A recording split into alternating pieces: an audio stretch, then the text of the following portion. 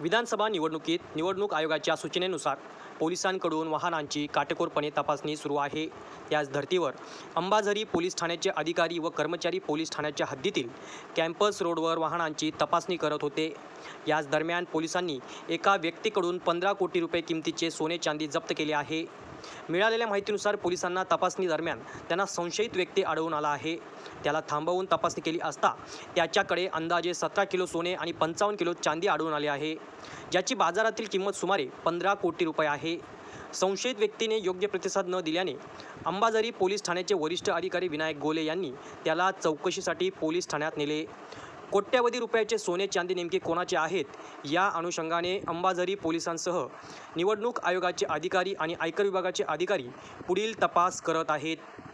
Bureau report Yuva Maharashtra Nagpur.